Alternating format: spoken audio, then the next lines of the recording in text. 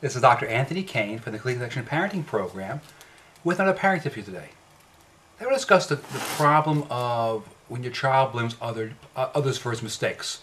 The example is this your child does something, gets very angry and explodes, and you ask him why he got angry or why exploded or why whatever happened happened, and he blames somebody else for the problem. He doesn't take responsibility for what's going on. This is a this is a business situation. It's a very common situation with ODD children. Oppositional defiant disorder children blame others for mistakes all the time. And this is a real problem you have to really address because a person does not take responsibility for his own actions and problems is going to have a hard time in life. And what happens many times in these cases, is OD children do not take responsibility for their actions.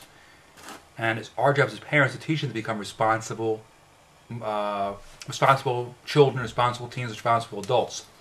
And that's our, that's our role. And we have to be able to do that. And one of the other problems we have when the child blames somebody else, it's an indication he might be using his anger as a smokescreen to cover up for his shortcomings. Now, people, children, use anger as a tool to avoid problems, to avoid addressing the real issues. That's how they cover up their, for their problems, their shortcomings. And it becomes a problem solving technique for them, which is very, very bad. If you've got a problem with anger in your house, it could be your child is doing this. So what I have for you today is I have for you a way to evaluate your anger situation in your home. It's a anger, an anger evaluation, essentially. It's, there's a short questionnaire you go and you fill out the questionnaire and you'll get an immediate response. So we redirected your answers and you will be able to see if you've got a serious problem with anger your home.